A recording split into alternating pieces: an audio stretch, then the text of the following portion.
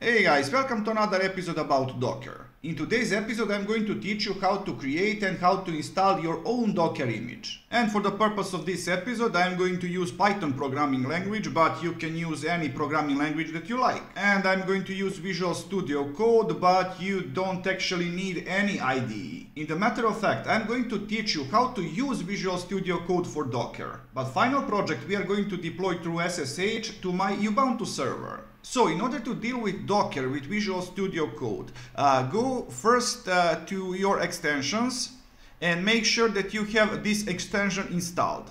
It's Microsoft extension with uh, 34.6 million installations and 4.5 stars at the moment. When you have this extension installed, go to your Explorer and in here I'm going to create only one file. So I'm going to call it main.py and my application is going to be simple for this episode. I just want to print something out. So with print. Alright.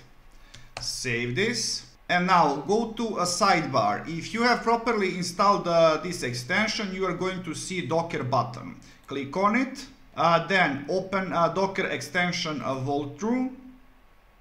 Go to add uh, Docker files to workspace and uh, click on add docker files. Now I'm going to select uh, Python because uh, I'm using Python programming language for this project. And I have one file main.py include optional docker uh, compose files yes Alright, and now go back to your Explorer. You're going to have all of these files. We are actually going uh, to need only two. We are going to need a Docker file and main.py. And for this episode, what is truly important is to understand what you have in Docker file.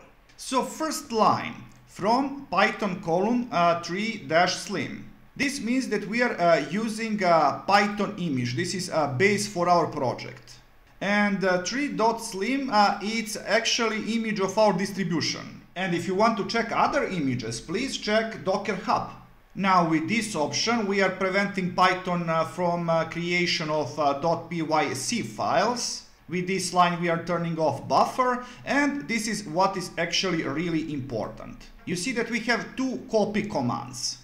With this second copy command, we are saying that we are going to copy uh, everything from our local directory to dash app directory. This dot means our local directory, so this directory. And this dash app, it's actually internal Docker directory from where our application is going to run. And with workdir, we are setting uh, that very same internal directory, forward slash app, as working directory for our application. But what is this? Why, is, uh, why are these two commands important? Because in requirements uh, txt, we are going to list uh, all of required libraries for this application to run. And with second command, we are going to uh, run python pip in order to install all of those libraries to our container. Because as you know, every container holds all of necessary elements, meaning all of dependencies for our application to run.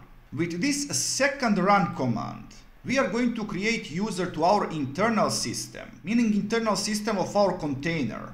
That user is going to be named app user and we are going to add ownership uh, of uh, app directory to that very same user. With user app user, uh, we are uh, setting app user as user of our application.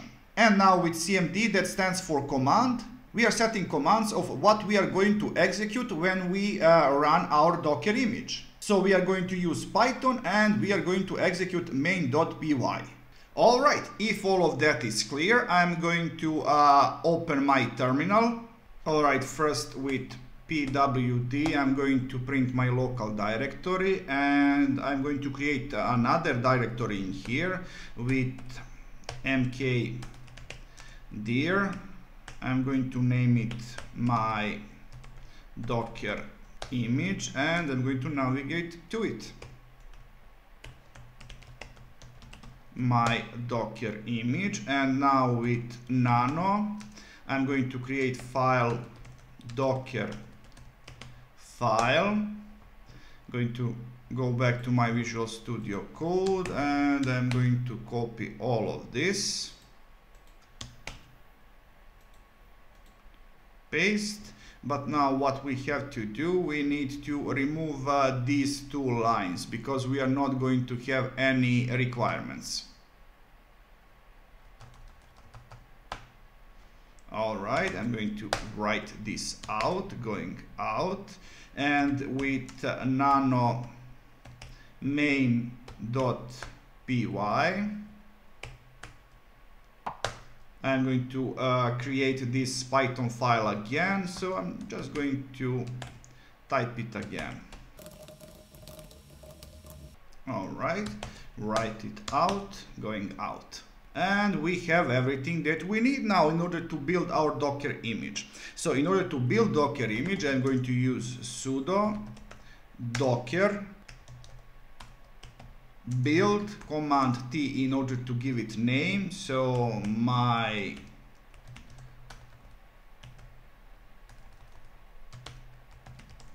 docker image and final argument it's dot. Uh, dot actually means that uh, we are going to use this local directory as source for our documents. Or better to say place where our files are located.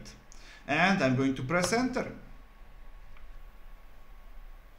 and we are done. So now I'm going to use uh, sudo docker image ls.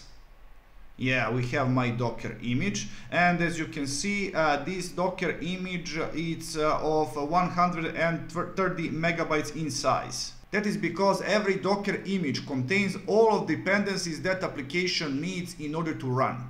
Now in order to run this image I'm going to use sudo docker run and I'm going to provide name of this image. So my docker underscore image. All right. Hey this is my first docker image. And in order to remove it I'm going to use sudo docker image remove and I'm going to provide name of it. So my docker image ah yes we have to force it so I'm going to add another key F. All right and now if I uh, list my images again sudo docker image ls you see there is no more my docker image. Uh, so guys that's all for this episode. I hope that you learned something new and interesting so please like subscribe and see ya